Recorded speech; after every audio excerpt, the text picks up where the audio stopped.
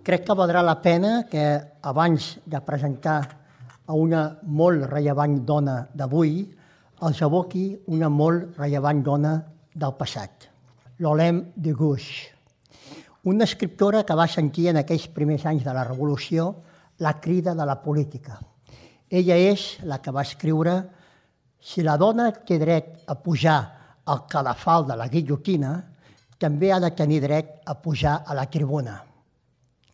Més tard, l'any 1791, l'Olem de Gouche va escriure una declaració de drets de les dones, com a resposta a la Declaració dels Drets de l'Home de 1789. M'he permès aquesta petita excursió a la figura pionera, creativa, valenta, però moderada de l'Olem de Gouche per emmarcar la presència avui entre nosaltres, a Barcelona Tribuna, d'una dona que ha tingut i té altres responsabilitats amb la vida política i econòmica de Catalunya. Exponent del nou lideratge femení, un pont enmig de la problemàtica política actual i presidenta del Gran Port, la Gran Porta de Barcelona. El port de Barcelona és molt més que un port. I dic que el port de Barcelona és molt més que un port perquè el port de Barcelona també és ciutat.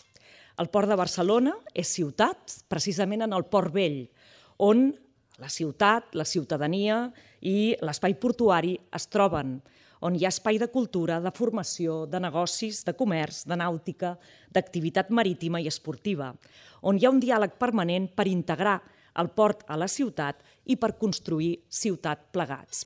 Si el 2017 vam ser el port europeu de més creixement, amb un 32,5% d'increment del tràfic de contenidors i un creixement eh, del 26% en el tràfic total eh, de mercaderia, 61 milions de tones, eh, l'any 2018 ens mantindrem en una posició molt interessant. Seguirem sent el port que més creix a nivell europeu i preveiem acabar l'any amb un increment de tràfic de contenidors al voltant del 15%, que suma doncs, el resultat rècord de l'any passat. En primer lloc, el repte dels accessos viaris i ferroviaris.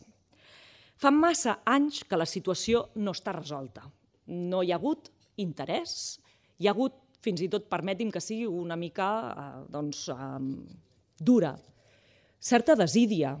No, no dic tant pels governants, sinó fins i tot per doncs, tots els equips que conformen eh, doncs, a les eh, doncs, administracions que són responsables d'aquesta infraestructura. No?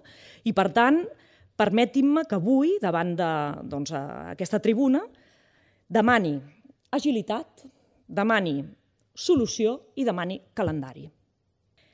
Crec que un repte eh, que tenim conjuntament és disposar d'una mirada conjunta de tres eh, infraestructures molt importants eh, per consolidar un hub logístic únic a Europa i el principal hub logístic eh, de transports de la Mediterrània. Conjuntament amb Zona Franca, el Pere Navarro n'hem parlat d'aquest tema, amb l'aeroport i, evidentment, el port de Barcelona. No, no considero que el problema siguin els creuers ni els creueristes, Eh, de fet, si fem el còmput eh, global del que representen envers eh, tots els turistes que visiten la ciutat de Barcelona, no sé ni si arriba a un percentatge del 3% eh, que eh, doncs, eh, són turistes que provenen dels creuers.